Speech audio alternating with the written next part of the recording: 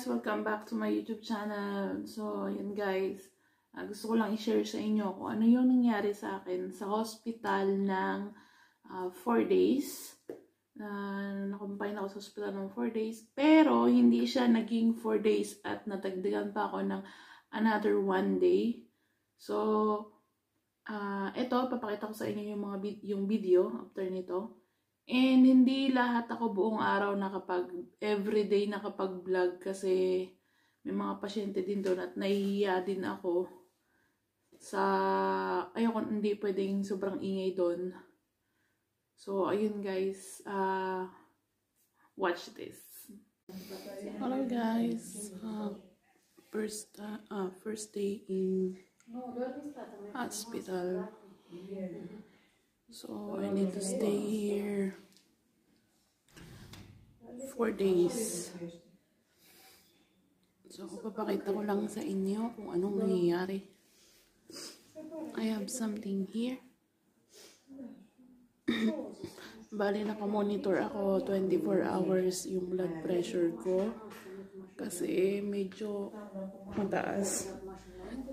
And na-check na rin nila yung ano ko, yung heart ko na uh, nakita ko sa screen. First time ko nakita yung uh, first time kong nakita yung puso ko sa screen. Grabe, wala akong ano, wake up. Uh, first time ko nakita yung puso ko sa screen na ganun pala yung itsura niya. So, every one hour siya gumagalaw. Naririnig nyo?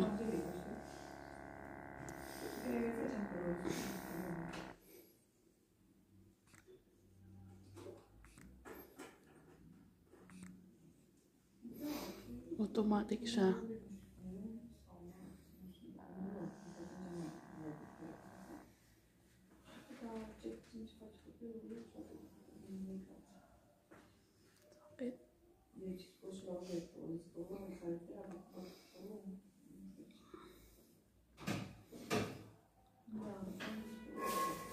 Ang sakit na ng, ng ugat ko sa sa kabilang braso ko. Ito.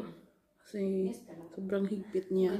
Every hour siya every hour siya gumagana. Automatic na na kinukunan ako ng BP. So, 24 hours to, sabi nung doktor. Yun nga, na-check na nga yung puso ko. Pumunta kami sa car cardio, cardiology. Oo nga, cardiology. Tapos, ano, sabi ay ano, uh, yung nakita nga, wala namang problema. At normal lahat yung puso ko.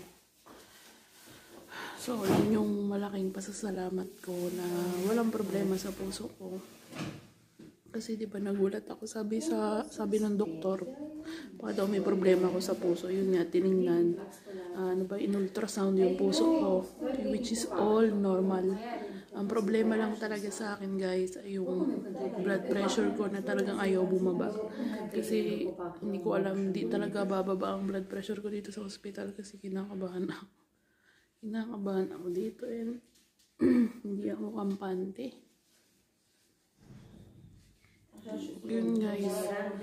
Uh, bali, 24 hours nga to na ganito. Ako may ganito na nakasabit.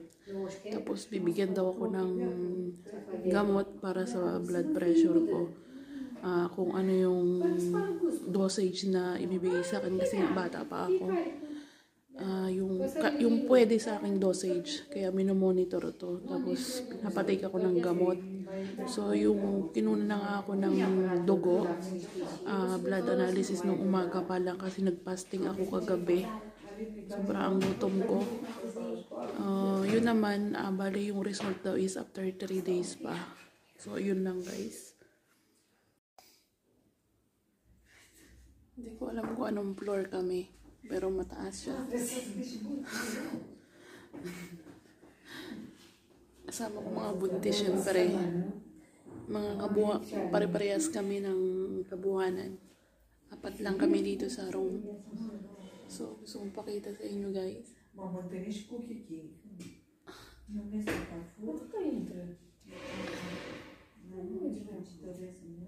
Когда все шишек?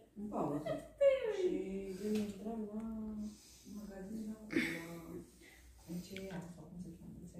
Yun yung pagkain ko. Ayan lang yung pagkain ko guys ha. Imagine.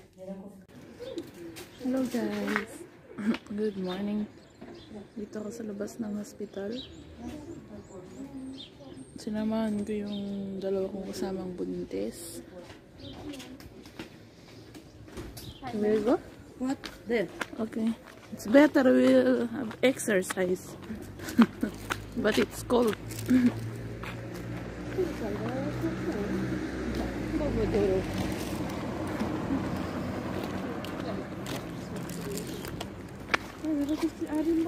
Ano yung building namin? Ito yung mga kasama ko.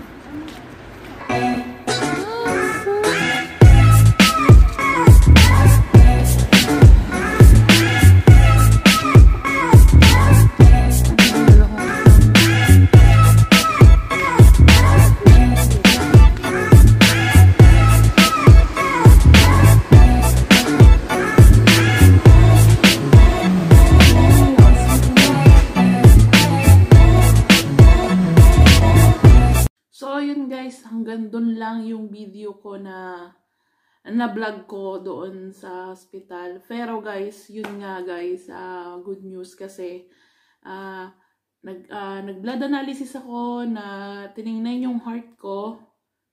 Tapos, tiningnan yung mata ko kung bakit nga ba mataas yung BP ko, yung blood pressure ko. Yun nga guys, yung blood analysis ko which is all normal, sugar, all everything is normal. Ah, yung heart ko, ah, nakita ko rin sa monitor na yun nga lumal yung lumalaki or may taba ba or may something sa heart ko kaya tumaas ang BP ko. So, good news guys, it's normal din and then yung sa mata ko, clear naman, wala naman diferensya sa mata ko. Yun nga lang guys, ninervyos lang talaga ako kaya tumataas yung BP ko. Ayun guys, ah, good news nga, ba? So, thank you Lord that ah maayos naman yung BP ko. Yun nga lang guys, yung baby ko talaga is 'di ba sabi sa akin ang anak ko daw, ang kabuhanan ko is November 18. But nung nakita nga sa ultrasound na baka hindi na ako abutin ng November 10, maybe November first week or la- last week of October eh manganak na ako, mag manganak na ako.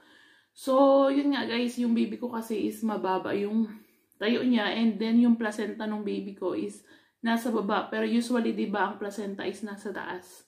So, yun nga, nasa baba yung placenta ni baby. So, payo sa akin ng doktor is ah bed rest. Bawal akong magtrabaho any, kaya, bawal akong maglakad ng malayo or matagal akong tumayo.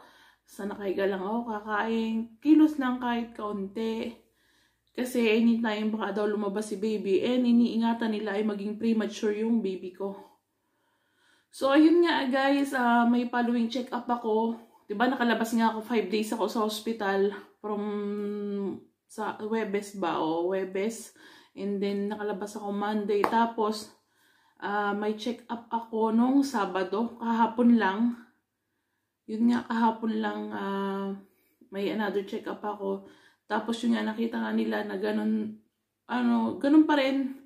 Ah, okay naman yung BP ko. Tumataas tapos bumababa. Yun nga kasi pagod ako nung pagdating sa hospital. Eh, nasa fifth floor yun. Tapos binipi ako. Of course na mataas yun. Pero pag nandito naman sa bahay, normal naman yung BP ko. So, ayun nga guys. So, yan, may pang BP ako dito. At may tinitake akong medicine kasi hindi hindi pwedeng tumaas ang dugo ko kasi maybe maapektuhan niya si baby at ma makapanganak ako ng maga. So, hindi pa naman niya kabuhanan.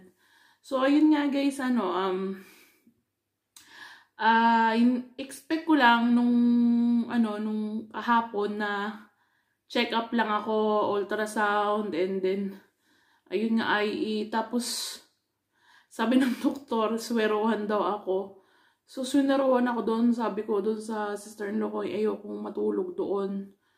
So, yun nga, umuwi din kami. Nintay lang maubos yung isang back ng swero. So, yun guys. Thank you. Yun lang guys. At, uh, thank you so much sa panunood. At, sana guys, uh, pag-pray nyo din na maging maayos kami ni baby. Maging maayos kami ni baby. Uh, lalo na sa panganganak ko, gusto ko talaga maging normal at ayoko maging CS. Ayoko ma-CS. So, yun lang guys. Thank you so much. And please, uh, don't forget to subscribe my channel and please hit the notification button para once na may ma-upload akong video is ma-notified kayo. And, yun lang guys. Thank you so much and God bless you all.